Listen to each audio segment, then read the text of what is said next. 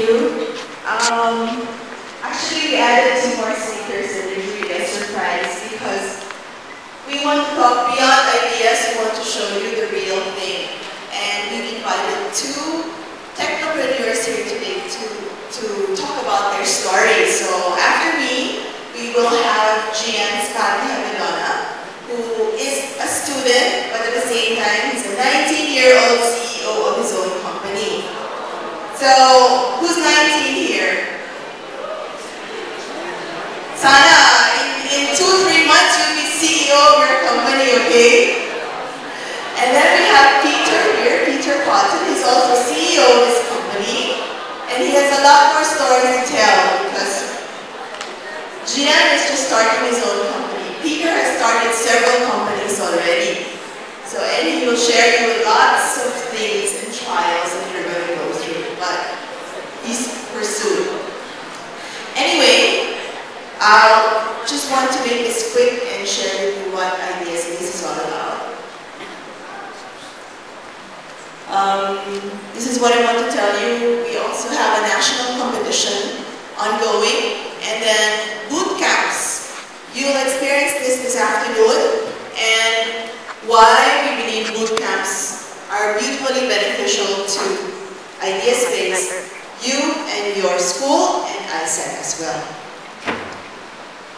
Okay, this is, does anyone know where this is? Silicon Valley. Okay? And then, it's home to the largest technology companies and thousands of startups. Our chairman, Mr. Pangilinan, said, I want you guys to bring Silicon Valley to the Philippines. First reaction is, you mean bring these companies here? Well, some of them are here already. He said, no, it's not bringing these companies here. But he said, bring the culture of Silicon Valley to the Philippines. Why? What is so unique about this culture? In Silicon Valley, everybody works together. When someone's got an idea, people share it right away.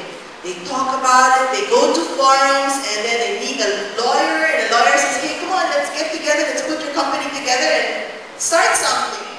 And that's what Silicon Valley is. A lot of sharing, a lot of helping, and that's what we want to do in the Philippines. Can we do it? Well, hopefully with IdeaSpace and the other incubators. Peter actually also starting an incubator.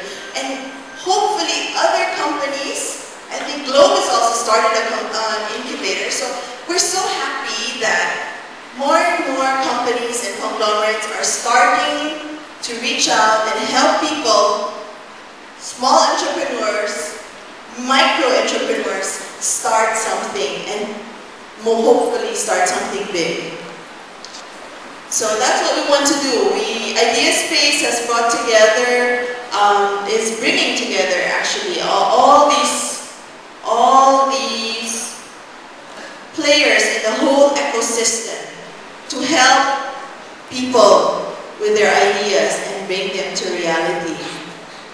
This is the Philippines today, pretty fragmented, right? But all these words, sorry, all these words are right there, just waiting to happen. Innovation, disruptive, game-changing, all of these things we want to put together and make, bring ideas, I mean, Philippines, make it a part of the world map. So, I don't know if anyone of you know the story, but when the logo of the United Nations was being made, Carlos P. Romulo, um, he's someone important in our history. He's the small guy who walked behind MacArthur. And uh, when they were making the logo of the UN, he asked the logo maker, where's the Philippines there? The logo maker said, it's too small, sir. If you put the Philippines there, it's just going to be a tiny dot. Goes, well, just put that dot there.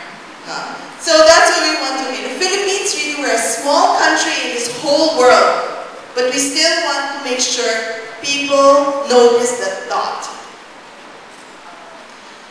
Okay, why do we put so much emphasis on entrepreneurship?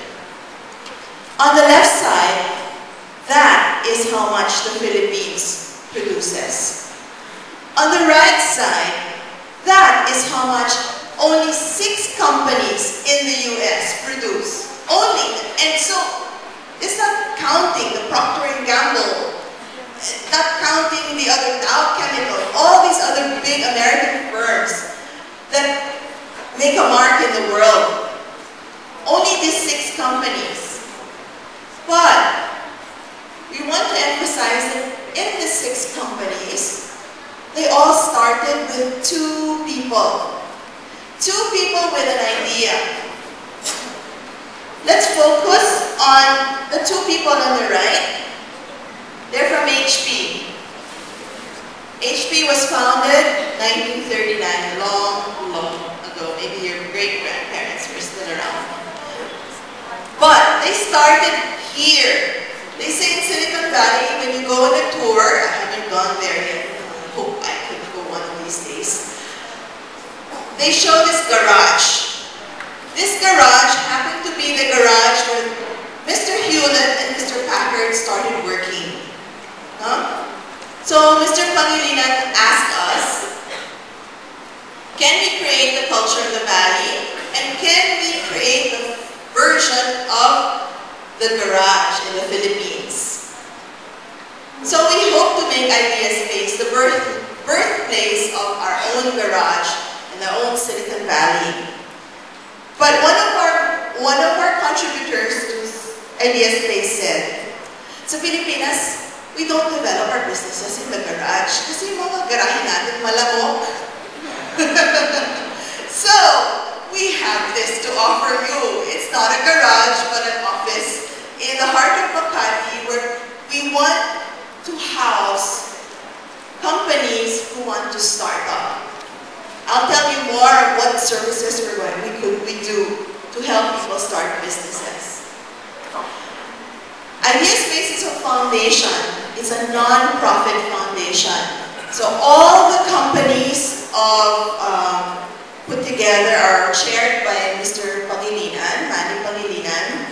We put, they put, they all contributed money. Every year, all these companies put together contribute 100 million pesos to help startup companies.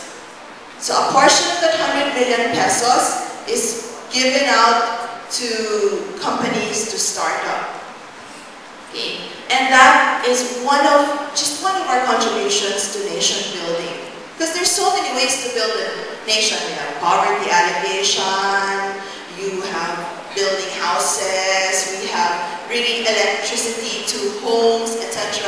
But for us, we formed a new foundation and um, Idea Space is here to help the young technopreneurs, or actually anybody feeling young. So just to familiarize with who, who are the benefactors of Idea Space, um, we have here Smart. Thank you Smart also for helping us live more today. And then uh, PLDT, SBI Global, Indofood is an, our Indonesian company in Indonesia. We're the largest noodle maker in East Asia. And then TV5, and then we have a mining company called Philex, and all, all these companies, they're all helping us make, bring ideas to reality. Our goal really is to develop and nurture innovation and entrepreneurship by de delivering a support program. So what is this, what is this support program all about? Our program provides funding. First of all, when you have an idea, right, you need money. A lot of times in our society, who do we call on?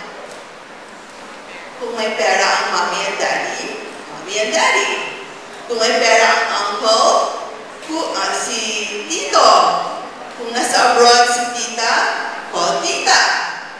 But, what about those who don't want to call on family? And what about the 5-6? here we will provide funding, startup funding, but not too much money naman. Diba? When you have too much money, you kind of want to spend it. We need to be hungry at first. And then when you start a business, sometimes people have lots of money, but then they blow it. So it's important to have a mentor when you are starting something. And we have put together, as, a, as I said, we have lots of a community of people who want to help people grow their businesses. Then, for example, you develop an app and you want to try it. When you knock on the door of Smart, who's going to mind you? You're so small, who are you? So we provide access to the resources of the conglomerate of the First Pacific Group. Say, for example, you invented something that can be used in our hospitals. You knocked on the door on the door of Makati Med. Um, Mrs. President Rose Montenegro, I would like to present my product. She would say, who are you? Usually that's our problem when we're a small-time entrepreneur. People don't believe us first and they don't want to give us a break. Hopefully, what we're going to do is give you, help you find doors and open the doors for you so you don't have to you don't have to struggle and convince people that you have a good idea that can be grown into a viable business. Oh, this is too small, so I think I'm going to skip it. Anyway, this is just the components uh, of what I call the funding, etc.